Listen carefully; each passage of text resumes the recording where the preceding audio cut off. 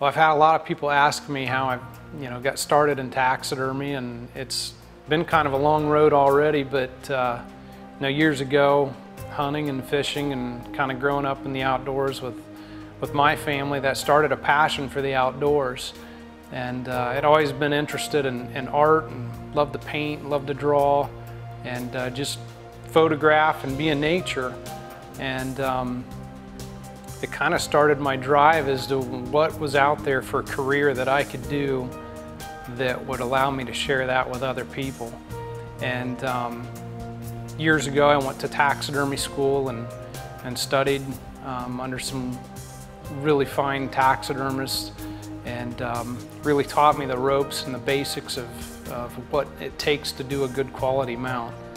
And um, you know, graduating from school, I, in uh, 2001, I, I started my, my business, Lone Leaf Taxidermy, and um, basically just set a clear goal for myself as what I really wanted to accomplish um, is, is career-wise was to do the very best taxidermy um, that I could and not sell anyone short on what someone's really capable of having, having the details that a live animal should have, and portraying our business as, as a professional studio that can accommodate sportsmen um, and their trophies from all over the world.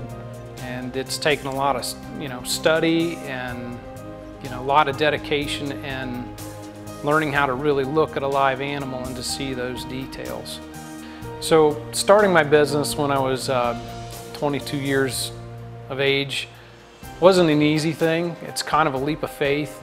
And, um, you know, I think, I think having that leap of faith is sometimes the best thing that you can have going for you as a business owner because you're laying it all on the line. And I knew even at that age that I was going to have to prove myself. I was, I was one of the younger guys in the area doing taxidermy and um, so getting people through the doors was wasn't always easy because just starting out being a young guy and and you know people can trusting you with their trophies that's that's not an easy thing to do right off the bat um, but slowly you know I had more and more people come through and give me an opportunity you know that's all I could ask them for and and I know that from those opportunities that's that's my chance to make them a customer for life and that's what, what I focus on. I focus on not meeting their expectations, but to exceed them. And over the years, I've realized that I've got some of the, the best customers that, that you could ask for. Um, from going from people that were somewhat of an acquaintance to, uh, to dear friends, that when they come through the door, you realize how much time um, and effort they have in acquiring that trophy. And to me, that just pushes me that much harder to really produce something that not meets their expectations but exceeds them. And you know, over the course of the last 15 to 16 years from going from acquaintances and just getting to meet those customers to the point of they come in and they're excited because they know that we're going to offer them something new and unique and we're going to try and accommodate all of their needs. And I found more and more um, people coming in and saying, Casey, this is my budget, you're the artist, surprise me. And that really soaks me in because I realize that they have given me not just their trophy, but they've given me free range to do whatever I would like to do as an artist to portray it in what I feel is the most artistic way um, to, to express who I am, but to also capture what it is that they remember in that hunt. And, um, you know, I take that really serious. I think what I want most people to know about Lone Leaf Taxidermy is that we desire to give you a positive experience. I've talked to a lot of people over the years, I've heard a lot of horror stories about taxidermy experiences that they've had, trophies that have been stolen, deposits that have been taken, um, taxidermy that wasn't met in a, in a timely manner. And I think a lot of places overpromise and underdeliver and we want to do the opposite of that. We, we want to not only meet your expectations, but to exceed them. And that's really our ultimate goal, is to be a positive experience from the time that you call us on the phone or come through that door.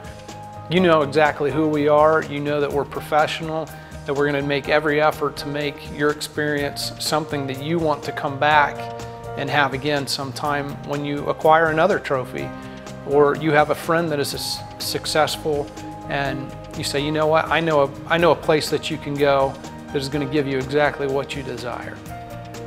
So over the past few years, we've been able to compete at some of the very high-level taxidermy competitions and have done relatively well.